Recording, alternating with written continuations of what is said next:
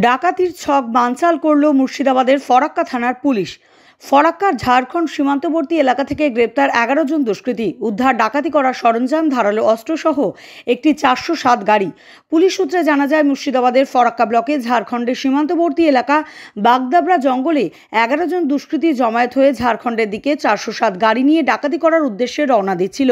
ঠিক সেই সময় গোপন সূত্রে খবর পেয়ে বাগদাবরা জঙ্গলের দিকে অভিযান চালায় ফরাক্কা থানার পুলিশ এবং তাদেরকে গ্রেপ্তার করা হয়। তাদের মধ্যে দশ জনের বাড়ি ফরাক্কা ব্লকে ও একজনের বাড়ি শামসেরগঞ্জে বলে জানা গেছে, বুধবার সকালে দুষ্কৃতীদের জঙ্গিপুর আদালতে পাঠানো হয়। তাদের মধ্যে তিনজনকে চোদ্দ দিনের পুলিশ হেফাজতে চাওয়া হয়।